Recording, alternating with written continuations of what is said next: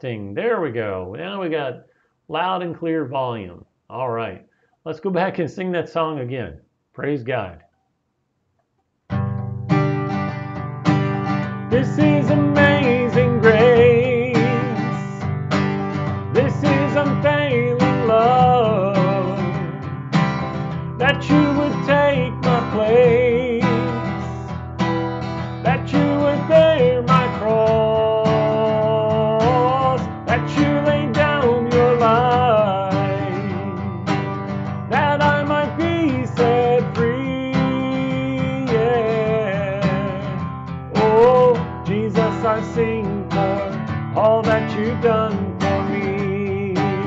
singing again. Listen.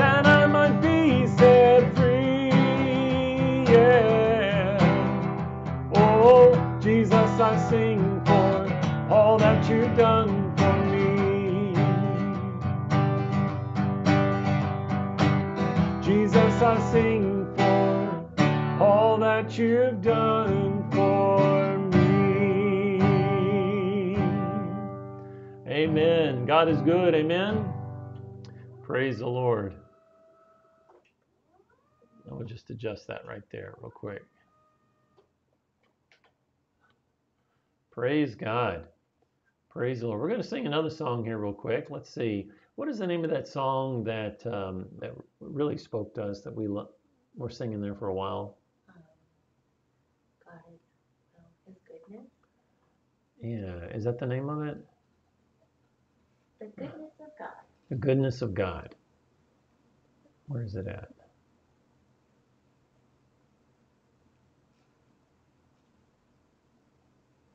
I know I have it.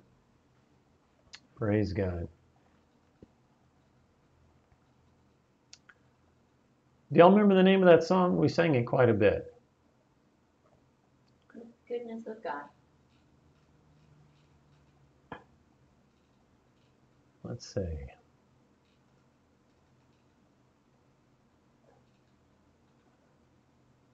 There we go. That's the one. That's the one. Let's adjust this a little bit. Praise God. All right, let's sing this song together.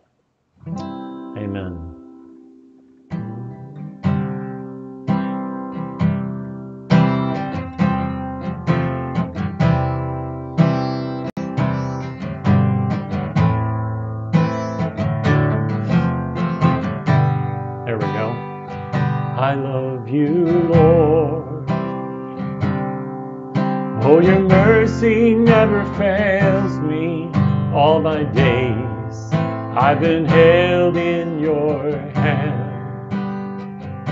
From the moment that I wake up till I lay my head, and I will sing of the goodness of God.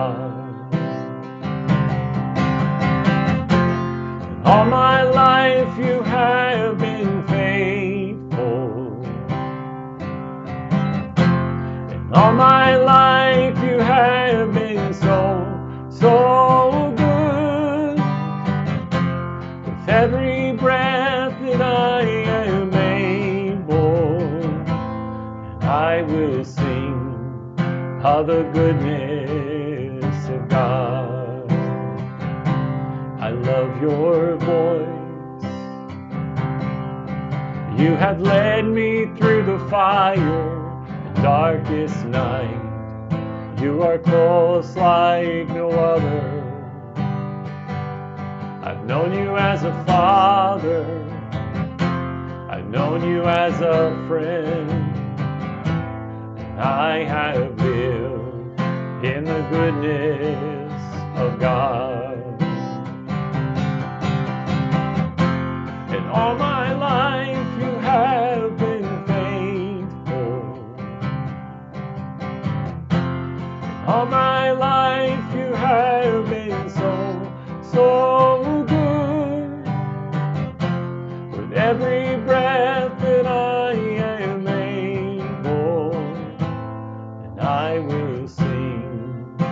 the goodness of God. Sing that again, all my life. And all my life you have been faithful. And all my life you have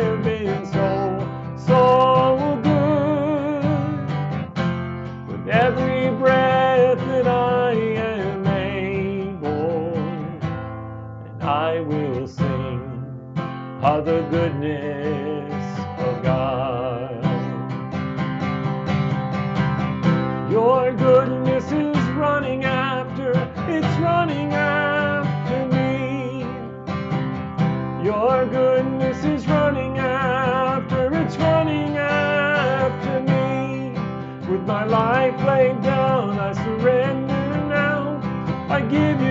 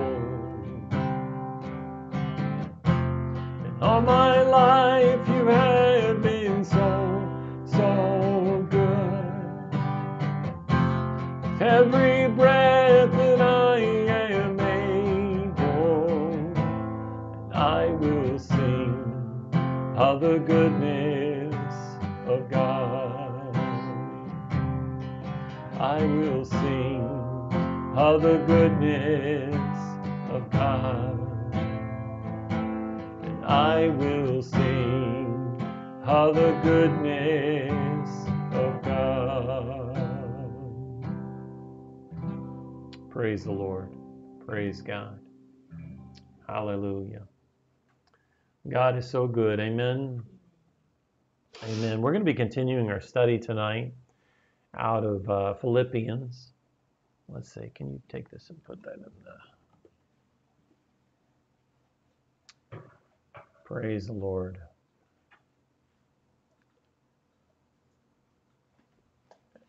We'll be looking at a Philippians tonight.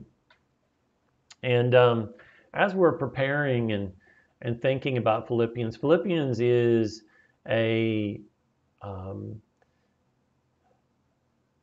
it is a message, it's a challenge about how we uh, go about living our lives when we're going through difficult times, when we're going through challenges, when we're going through hardships.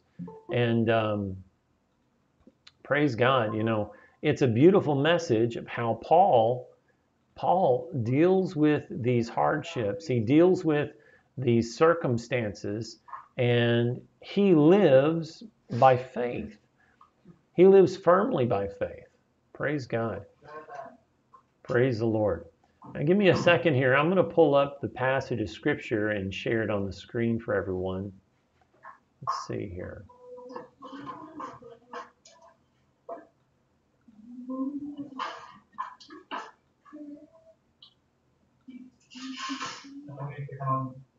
There we go.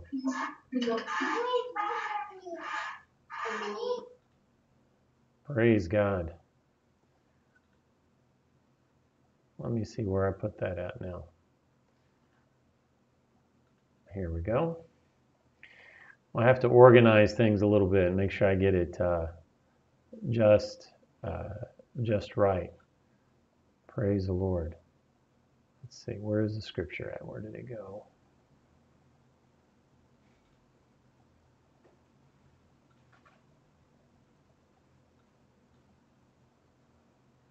You all bear with me for a moment. Running a little behind here tonight, trying to get everything ready. Good evening, everybody. Yeah, this is Jerry. Y'all, can- y'all can should be able to see her there.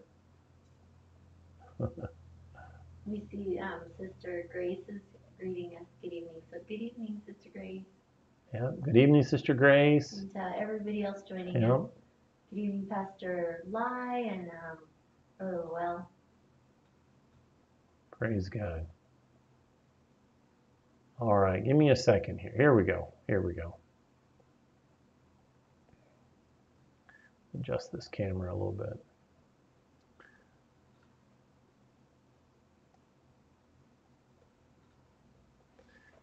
Praise the Lord. So we're looking at Ephe- uh, excuse me, we're looking at Philippians chapter 1, uh, 12 through 26. Philippians chapter 1, 12 through 26. And it starts off, and Paul says this Now, I want you to know, brothers and sisters, that what has happened to me has actually served to advance the gospel. As a result, it has become clear throughout the whole palace guard and to everyone else that I'm in chains for Christ. And because of my chains, most of the brothers and sisters have become confident in the Lord and dare all the more to proclaim the gospel without fear. It's true that some preach the gospel of Christ out of envy and rivalry, but others out of goodwill. The latter do so out of love, knowing that I am put here for the defense of the gospel. The former preach Christ out of selfish ambition, not sincerely, supposing that they can stir up trouble for me while I'm in chains. But what does it matter? The important thing is that in every way, whether from false motive or true, Christ is preached. Hallelujah. I love that. No matter what, Christ is preached. Paul goes on and he says this The important thing is that whatever, uh, that in every way, whether false or Christ is preached. And because of this, he says, I rejoice. Yes, I will rejoice. I will continue to rejoice. For I know that through your prayers, God's provision of the Spirit of Jesus Christ, what has happened to me will turn out for my deliverance. So I eagerly expect and hope that I'll in no way be ashamed, but will have sufficient courage so that now, as always, Christ will be exalted in my. Let me see here, someone's joining. There we go. So that Christ will be uh, exalted. I have sufficient courage to always know that Christ will be exalted in my body, whether by life or death. For to live is to is in Christ, and to die is gain. If I'm to go on living in the body, this will mean fruitful labor for me. Yet what shall I choose? I do not know.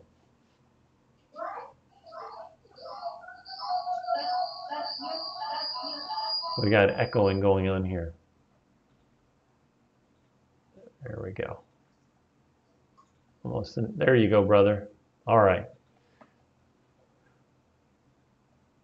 But it's more necessary for you that I remain in the body. Convinced of this, I know that I will remain and will continue with all of you for your progress and joy in faith, so that through my being with you again, your boasting in Christ will abound on account of me.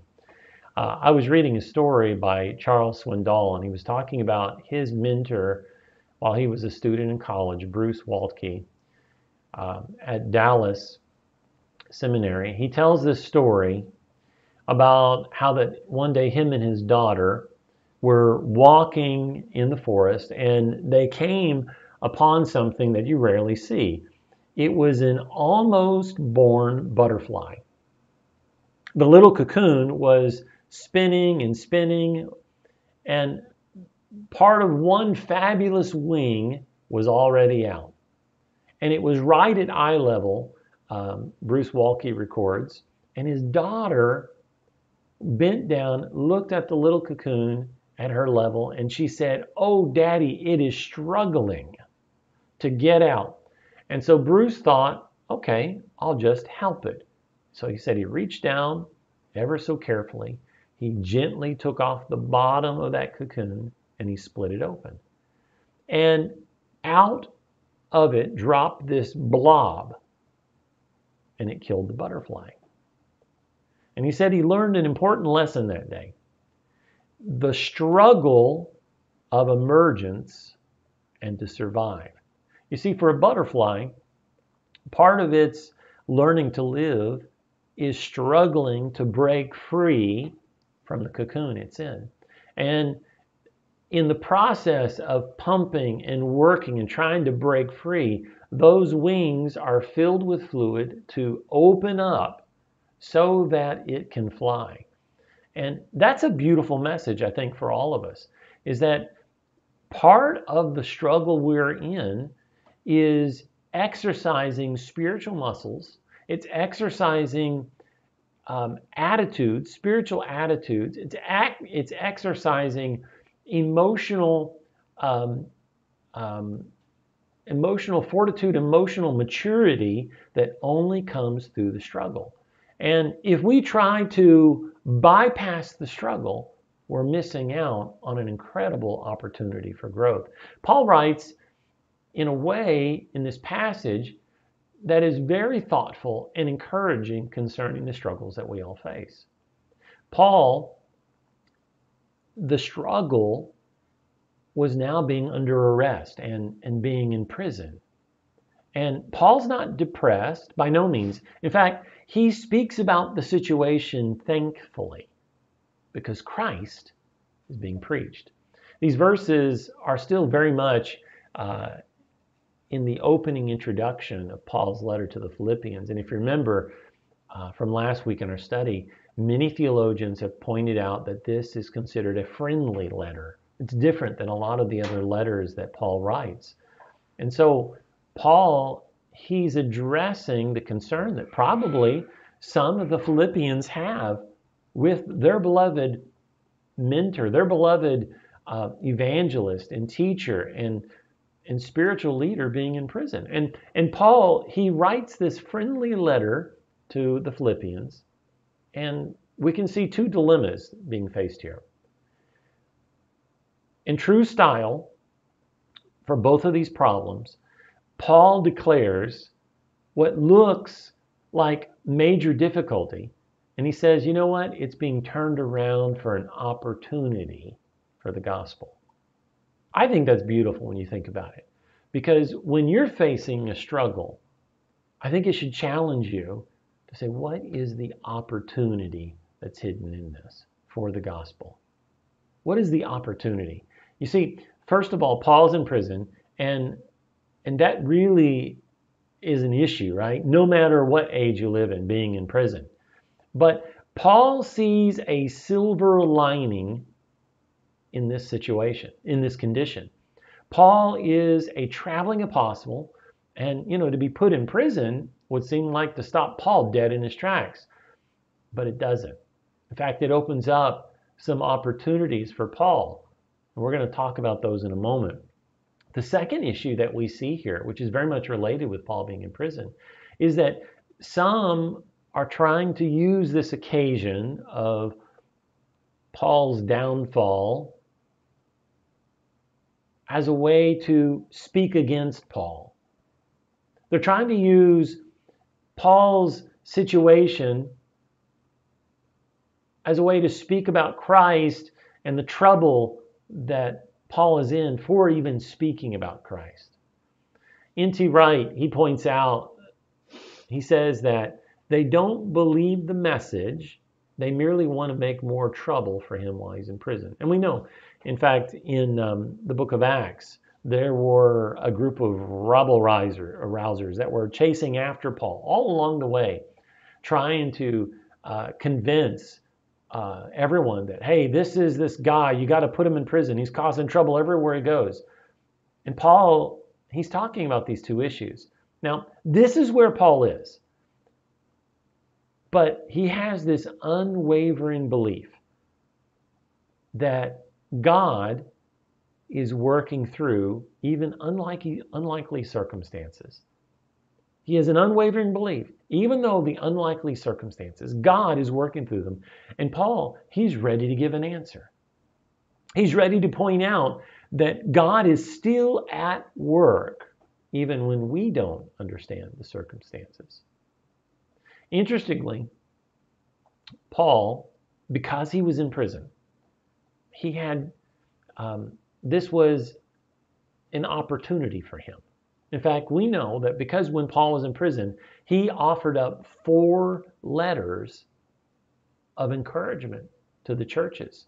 And you know, there this opportunity of being in prison spoke to so many of those early believers as well as saints throughout all of the ages even to the present day of being in prison and still serving the Lord still serving Christ.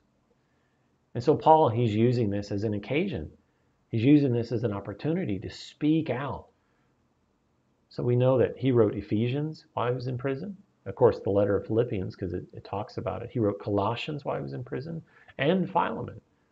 The struggle that Paul faced and found in prison uniquely equipped him to reach others and the difficulty of their situation. Now, I want to pause there because I think you really have to think about the hardships and the struggles that you may be facing and what is it about your situation? What is it about your condition that is uniquely equipping you to minister to those around you? Now, all of these apostles, they faced hardships and suffering. Um, every single one of them was either tortured or put to death for the sake of the gospel.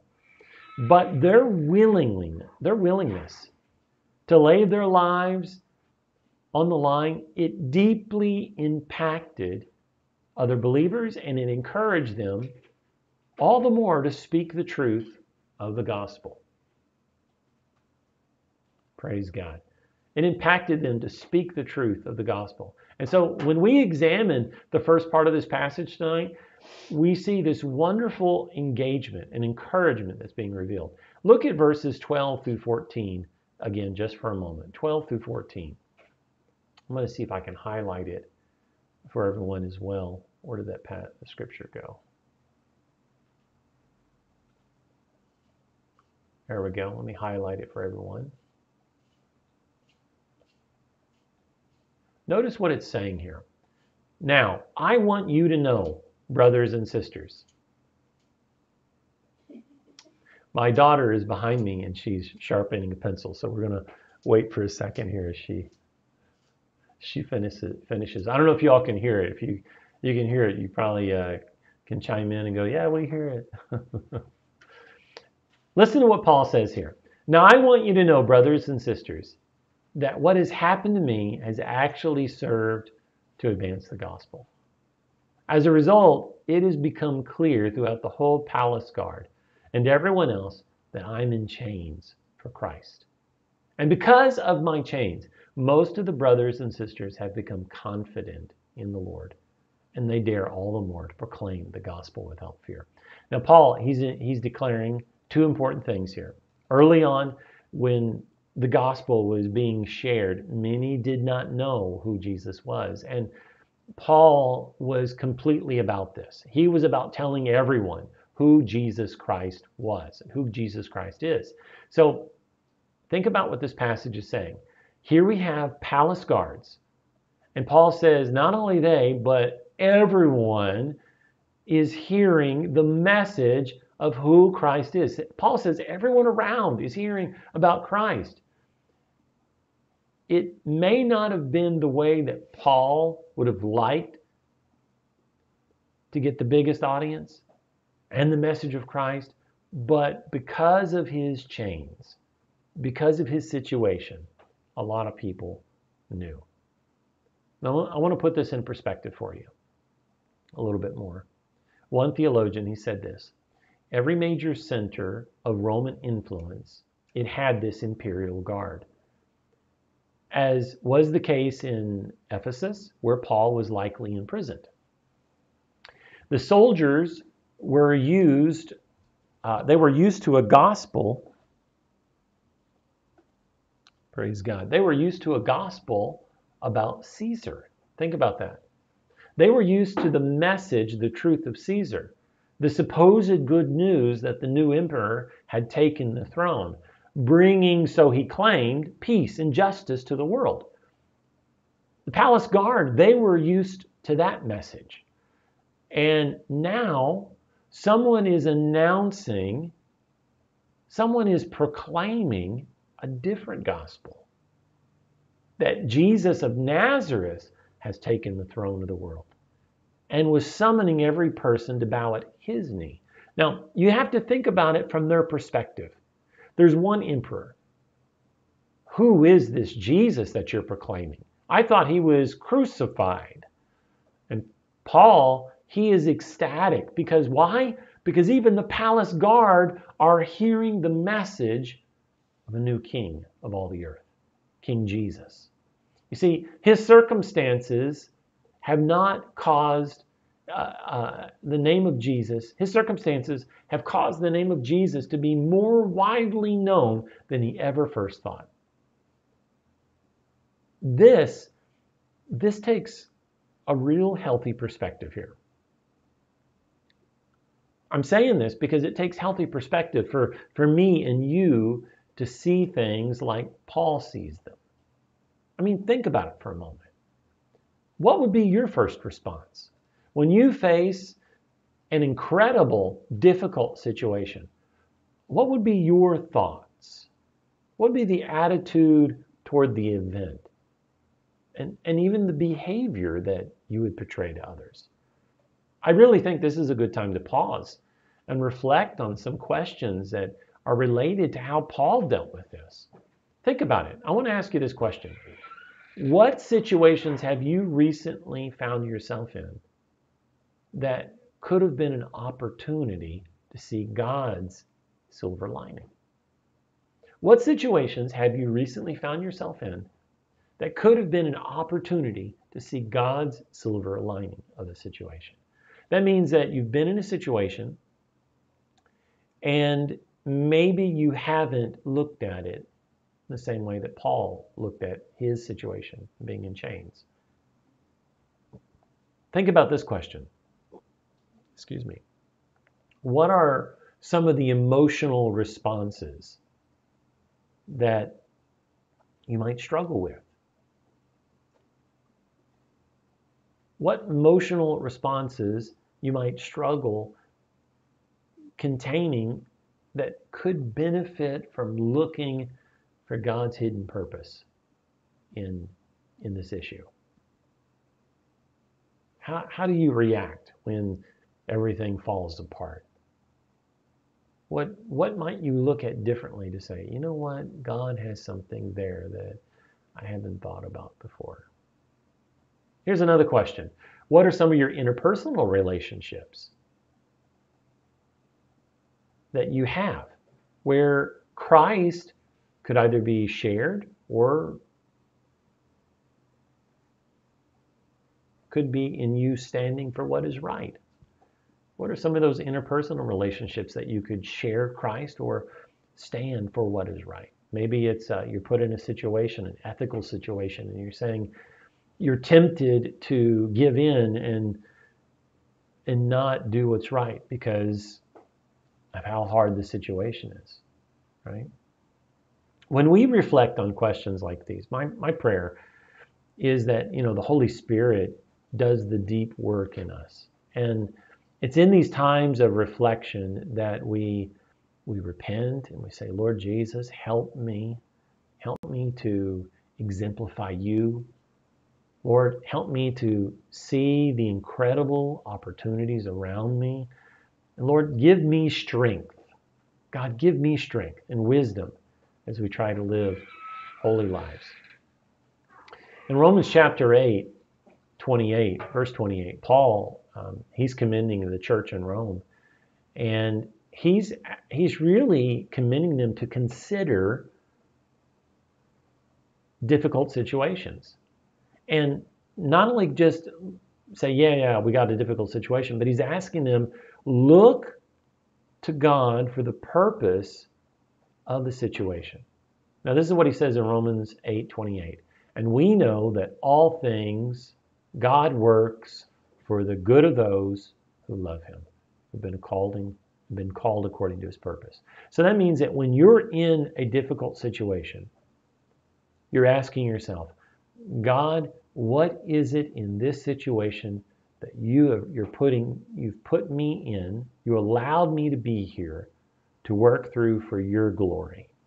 What is it right now, God, that's working for your good? What is it right now that's working for my good? God, am I am I that butterfly right now who is flexing those wings, learning new spiritual muscles that can only come through a difficult situation? Now, I want to go ahead and progress here a little bit and look at the next section. These are verses 15 through 18. 15 through 18. It reads, It is true that some preach Christ out of envy and rivalry, but others out of goodwill. The latter do so out of love, knowing that I am put here for the defense of the gospel. The former preach Christ out of selfish ambition, not sincerely, supposing that they can stir up trouble for me while I'm in chains. Not sincerely, he says, supposing that they can stir up trouble for me while I'm in chains. But notice what Paul says in verse 18 but what does it matter? What does it matter? The important thing is that in every way, whether from false motives or true, Christ is preached. And because of this, I rejoice. Hallelujah. That's such a wonderful take on this situation. You know, I couldn't imagine being thrown in jail all my life, I've been taught don't go to jail. You got to stay out of jail, do what's right. But here's a man who did what was right and was thrown in prison. And I couldn't imagine the naysayers. Did you hear about Pastor Mike? He got thrown in jail. That's not true. Right, but I no, I know I was never thrown in jail. I'm, I'm mimicking, right? Praise God. I'm mimicking what some might say. Did you hear about so and so? They got thrown in jail. Can you imagine what that would feel like? And Paul, he's saying something, what does it matter? I'm here because of the Lord. I'm here because of Him. Now, verse 15 and 17, they in, indicate something that, you know, honestly, it makes most pastors cringe because we want to see the gospel of Christ properly presented. And Paul says, it's true, some preach Christ out of envy and rivalry, but others out of goodwill. Verse, if you skip down to verse 17, it says, the former preach Christ out of selfish ambition, not sincerely, supposing that they can stir up trouble for me while I'm in chains. Some theologians have suggested that these people were rival Christian groups. I've certainly encountered people uh, in my time of ministry who've, who've honestly, they preached in a hateful manner. I've, I've ran into folks like that. But other theologians suggest, and I, I think too, this seems more likely, that these were ordinary pagans who were talking up the latest piece of news. The other day, I'm driving past Capitol Hill. In fact, I've seen this gentleman every day now for since we came back on island. He's out there with a sign and he is talking about something. He's trying to get attention about something. And honestly, I can't read the sign because the letters are are so dimly written. But when we see things like that, it reminds me because we're all like, Did you see that guy? What's he doing? What is going on? And yet, there, there is really a genuine purpose for why he is walking back and forth every day in front of uh, the government businesses. He's trying to get a message out for those who are coming in. We've all been around the gossipers, the ones who always have something interesting some interesting piece of news to share. I used to uh, at our church, at other churches, I've I've ran into people um, who use the prayer report, uh, uh prayer request as a time of uh, of talking. oh, did you hear about this? We need to pray about this, and they use that as a time to. And I've often kind of chuckled because there's always that tendency for everyone to want to talk negatively, to want to get involved and say something bad. In the workplace, we call it the water cooler conversations because this is where people gather at the water cooler, and while they're there, they're talking about the latest piece of hot news. One theologian, he's pointing out this situation about ordinary pagans, and you can hear that dialogue. You can hear that dialogue is kind of reminiscent about what I mentioned. He wrote this, and I liked his way of saying it. He said this Have you heard? They'd said to each other. They've caught that strange fellow, Paul, who's been going around saying there's a new king, a new emperor. And you won't believe it. This new king turns out to be a Jew they crucified a few years ago. And this jailbird is saying he's alive and that he's the real Lord of the world. What a dangerous lunatic this Paul character is. Now, that was probably and most sincerely what was actually being said about Paul. But notice Paul's response to all of this. Verse 18 What does it matter? The important thing, Paul is saying, in every way, whether from false motives or true, Christ is preached. And because of this, I rejoice. We've already seen in the gospel, we've already seen that the gospel of Jesus Christ is preached to the world was, was still very much in its infancy. And Paul, he's ecstatic because the word of God is being preached. He's ecstatic because he's getting free publication about Jesus Christ. The name of Christ is being put out there for all to hear. And he understands something. He understands that when they hear the name of Christ, they're going to be, begin to ask questions. And it's the opportunity.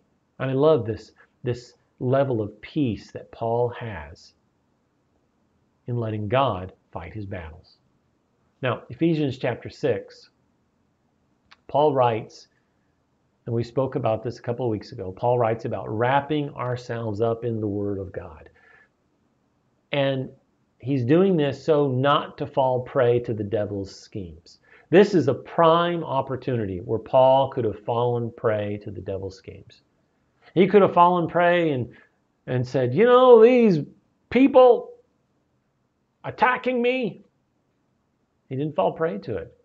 He didn't attack flesh and blood. Remember, look at look again what Ephesians 6 chapter uh, chapter 6 verse 10 says.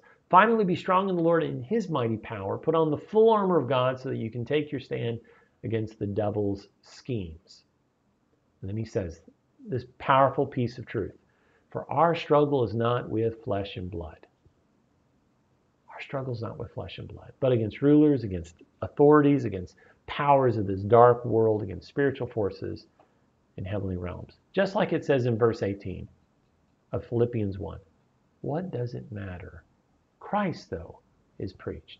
Paul has internalized this deep spiritual truth, and he's saying, What does it matter? We know that in letting it matter, you see, when you let it matter in your life, it burns up a whole lot of mental energy. It steals your joy, it, it steals your sleep. Uh, Psalms chapter 127, verse 2 tells us that God grants sleep to those he loves. Why let the devil steal your rest? Why let the devil steal your joy? You see, the Lord, He is our joy. He's our refuge. Take refuge in Him. Take rest in Him. Paul's saying, Why does it matter? What does it matter? I know who has redeemed me. I know who has saved me. I don't care what the world may say. Several years back, a, a good uh, minister friend of mine in Kentucky, he was talking about how his son and daughter was attacked by someone on the outside of their church. His son and daughter are pastors of this church, and they were lies were being told about them. And and the daughter was saying, you know, I just don't know, Dad. I'm just this is just hurting us. We got to find some way to uh, rebuild my husband's reputation because these are lies. And I remember my this brother. He said he said to his daughter, he says, "What does it matter? Trust in Christ. Allow Christ to have the last word. Allow Christ to have the last word. You see, because everyone who attacks is going to stand judgment before God. And we just allow God to be the one to handle the situation. Now, I've reflected on this passage over the years, and it's it's been something that I've honestly had to learn and relearn. And I think honestly, for a lot of believers, we're in that same place because it hurts. It hurts when you feel attacked. It hurts when you feel that someone's coming against you, especially against your faith. And Paul's saying, what does it matter? Just, just give it to the Lord. Trust in Him. See, you really can't dwell on the naysayers. You can't. Can't do it. You have to focus, instead of the naysayer, you have to focus on the Prince of Peace. You have to focus on the one that leads you to the truth. You have to focus on the one who loves you more and is closer than a brother. That's what you have to focus on. Um, I really like what N.T. Wright says here about Paul's ability to adapt and encourage in spite of crazy difficulty. Because I'm telling you, being in prison, being tortured, that's crazy difficult. And Paul, he adapted and he's encouraging people. Listen to what N.T. Wright said. Paul writes to encourage the church in Philippi but his words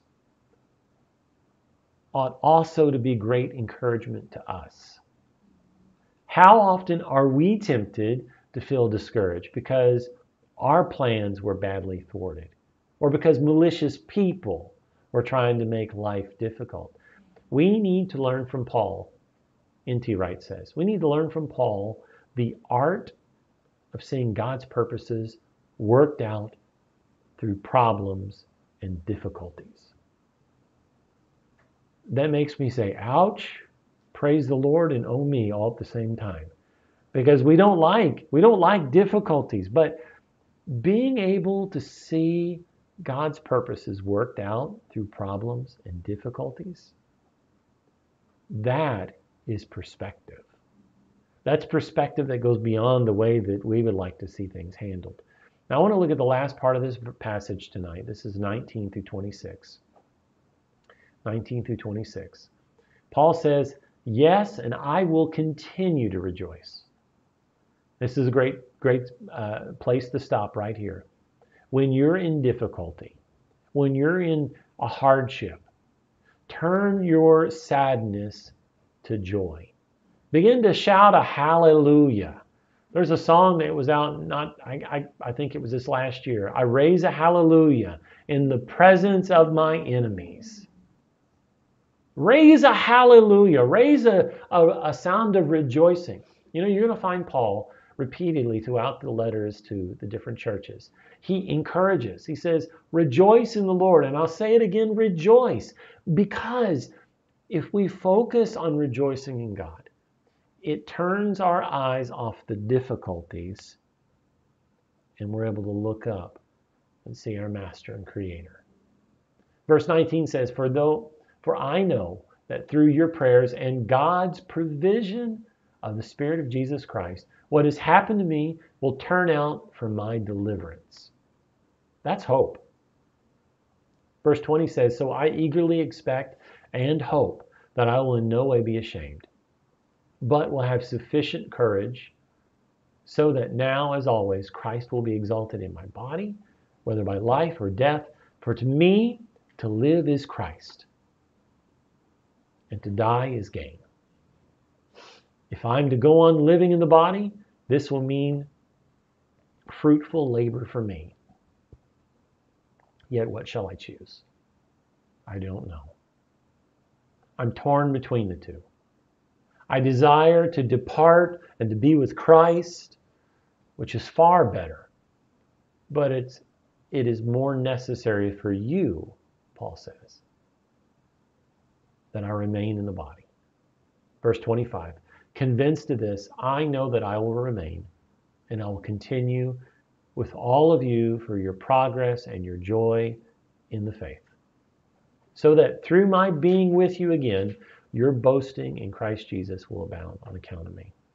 Those are beautiful words when you think about it. Those are beautiful words because Paul, he has clearly not lost his hope. He's clearly not lost his hope. But he sees things in a genuine and clear manner that demonstrates where Paul's hope is really found. Praise God. Now, as a child, I remember singing a hymn by this um, this author. His name was Edward Mote, and he wrote this hymn. He said, "My hope is built on nothing less." Now, the hymn, it was written way, way, way back in 1834. But I want you to listen to these timeless words. And I'm going to sing some of it because I like. I think it makes more sense to sing these than, than anything. If you know the words, just sing along with me. He says, "My hope is built on nothing less than Jesus' blood and righteousness. I dare not trust the sweetest frame, but wholly lean on Jesus' name." On Christ the solid rock I stand, all other ground is sinking sand. All other ground is sinking sand. I'm gonna I want you to listen to verses 2 and 4 here. Verse 2 says, In every rough and stormy gale, my anchor holds within the veil. When all around my soul gives way, He then is all my hope and stay. On Christ the solid rock I stand, all other ground is sinking sand. All other ground is sinking sand. He shall come with trumpet sound, oh, may I then in him be found, dressed in his righteousness alone, faultless to stand before the throne. Amen. My hope is built. Amen. Your hope is built. It should be built on Christ. We, we, we have not lost the hope. We have not lost the hope because just, just like Paul, Paul's keen and intent purpose was to spread the good news of Christ. That's our hope. That's we're called to do that. This is our purpose. We're called to share the good news of Jesus Christ. Amen. We're called, and Christ has given us a firm hope. When everything is down and out, everything is hard and difficult, we can learn to lean on Christ, just like Paul. Now, in verses 20 through 24, Paul writes something that I think should as well encourage all of us. He says in verse 20, I eagerly expect and hope that I will in no way be ashamed, but will have sufficient courage so that now, as always, Christ will be exalted. Amen. In my body, whether by life or by death. For to me, to live is Christ, and to die is gain. If I'm to go on living in this body, this will mean fruitful labor for me. Yet what shall I choose? I don't know. I'm torn between these two. I desire to depart and be with Christ, which is better, far better. But it is more necessary for you that I remain in the body. Paul, he says here, he would rather, and I don't want you to take this the wrong way, he would be better off dead. And this is not this is not a death wish in the sense of someone losing self esteem or becoming terminally depressed or longing to get out of this life as quick as possible. That's far, far from the truth. Paul is absolutely full of energy and he's quite ready to get back to work as soon as they let him out of prison. But you see, here's the thing Paul is a man who's in love with the Messiah, he longs to be with his master. Paul's already died to self. That means Everything in this life doesn't matter anymore to Paul. Only one thing matters that's Christ, the message of Christ. And so for Paul, he's ready to be with the Lord. He has a glory ache in his heart. He has a glory ache. He wants to be with whom he loves. And nothing in this world possesses him except Christ. On Monday, I spoke in chapel and I shared about a young teenager. Her name was Cassie Bernall. Cassie was shot and killed in the Columbine shooting, uh, Columbine High School back in April 20, 1999. Her shooter found her. He pointed a pistol at her head and he asked her these fateful words, this, fateful question. He said to her, point blank, do you believe in Jesus Christ? And she said, Yes. As if, why not? Why not believe? It was, it was instantaneous for her. Yes, I believe in Jesus. And the shooter looked at her and said, Why? And he shot her. Now, on the night before her death, Cassie had recorded in her journal, and her brother Chris had found her journal. That uh, actually it was the, the Sunday before she wrote in her journal. And he found it, and I want you to listen to what Cassie wrote the Sunday before all of this happened. She said this Now I've given up on everything else.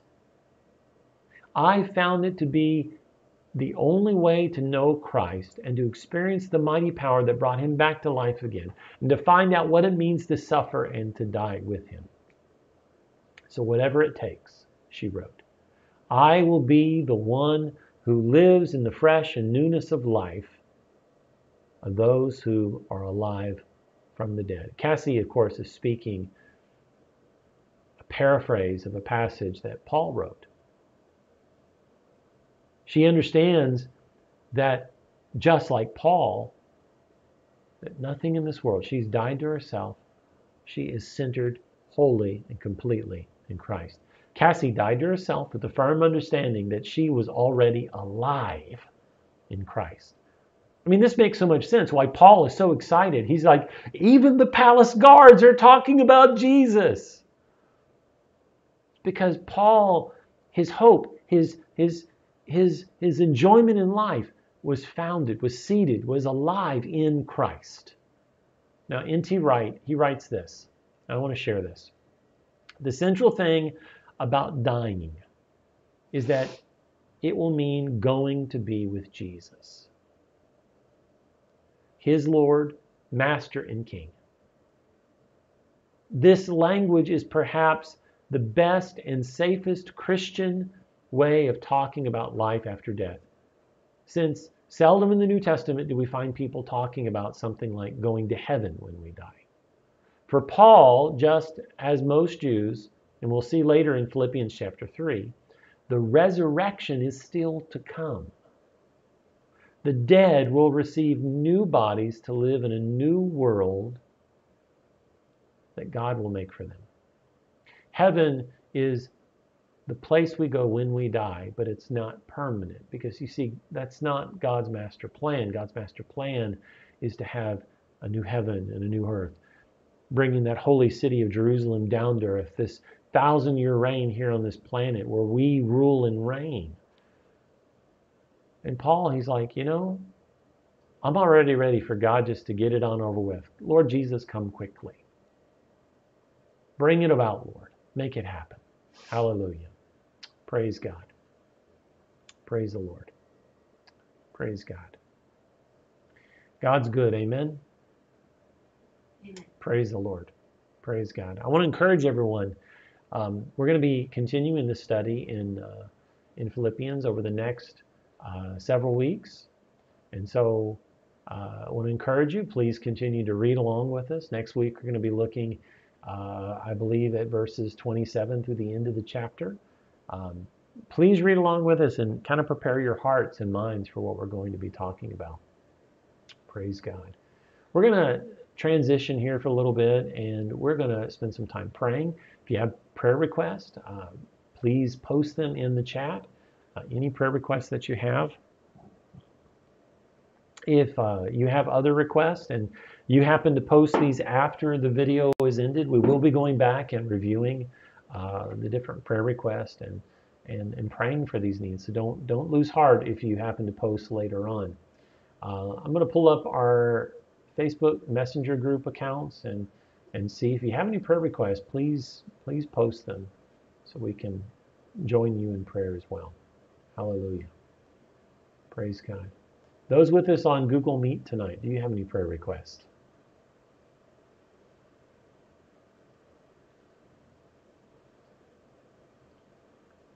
Praise God. Any prayer requests? Pray for a friend of mine whose dad. Your friend? What's what's their name? can say his name is Tony. Okay, pray for Tony. Pray for Tony. Tony is uh, a friend of my wife, and uh, he is sick with cancer, so we need to lift Tony up in prayer. Praise God. Uh, we have prayer requests from um, Grace Parco. Pray for healing of Beth De Acampo. Okay. Praise God. Any other prayer requests? Any other prayer requests tonight?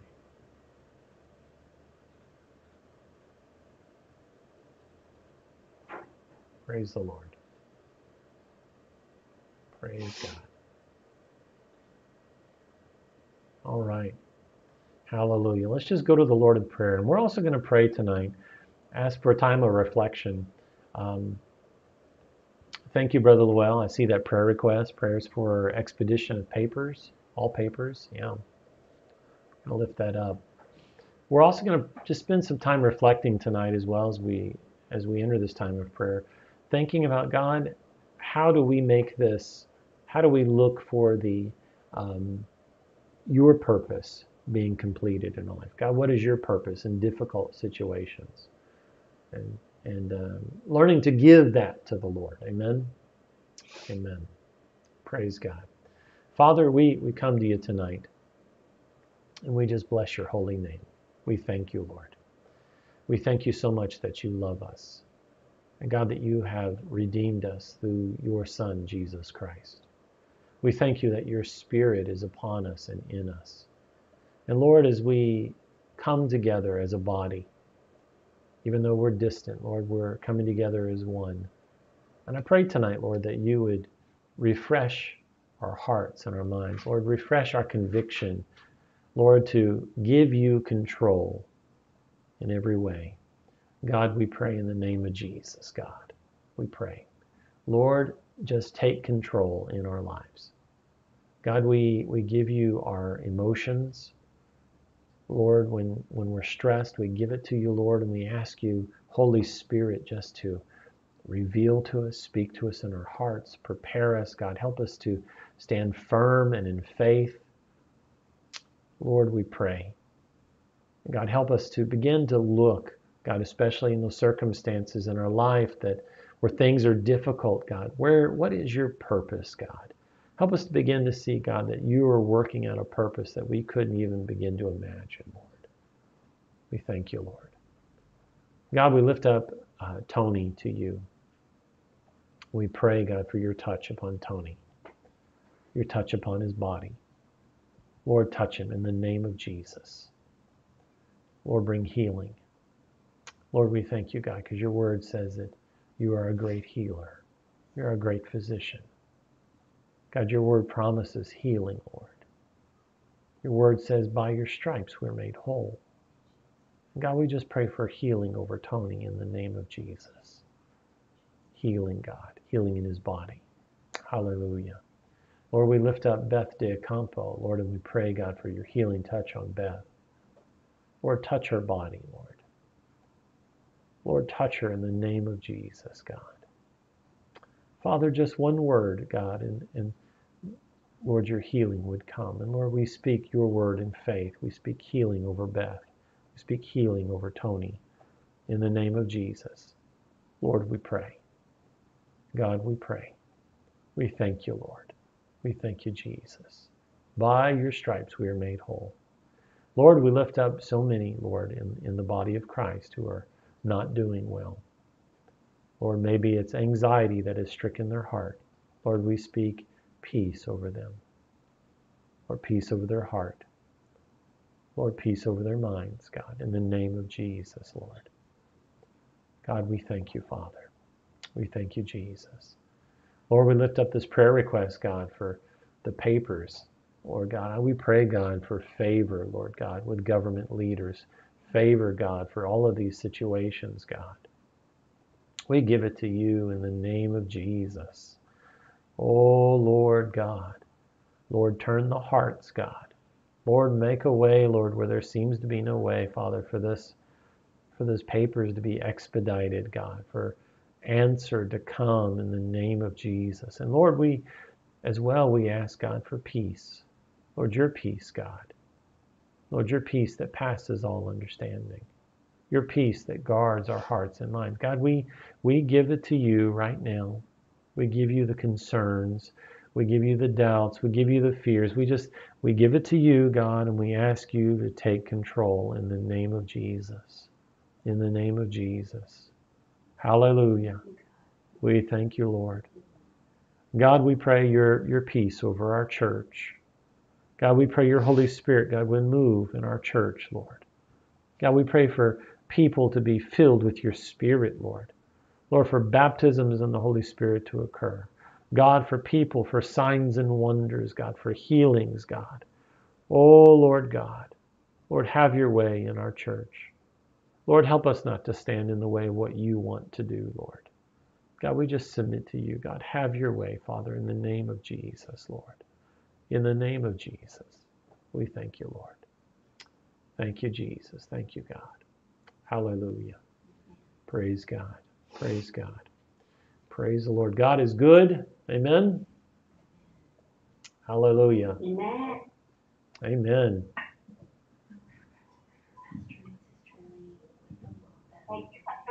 Thank you. Uh, my wife just reminded me we also need to pray for Pastor Ray, Sister Elaine, especially for the family with uh, uh, with the passing. Let, us just pray again one more moment.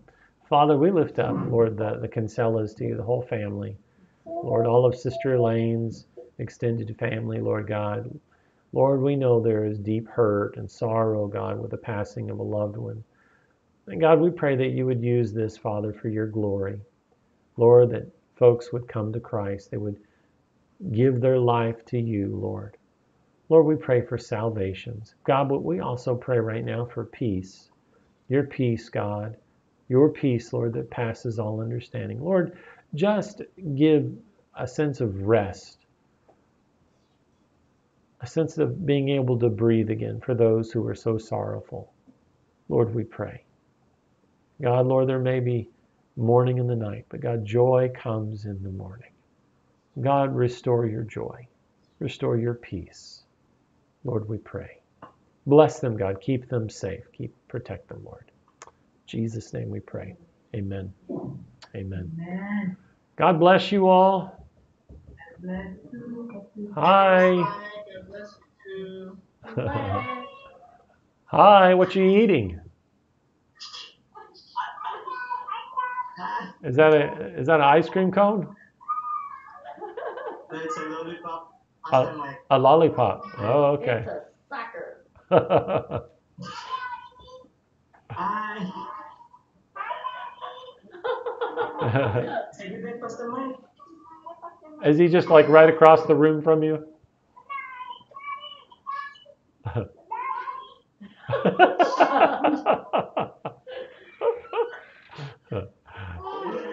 all right. God bless you all. Bye. God bless you, Pastor Mike. Good God night. bless. Hey, thank you, Brother Llewell, for helping with chapel the other day. Yes. I apologize I wasn't uh, able to be right there and assist with everything going on. But thank you so much.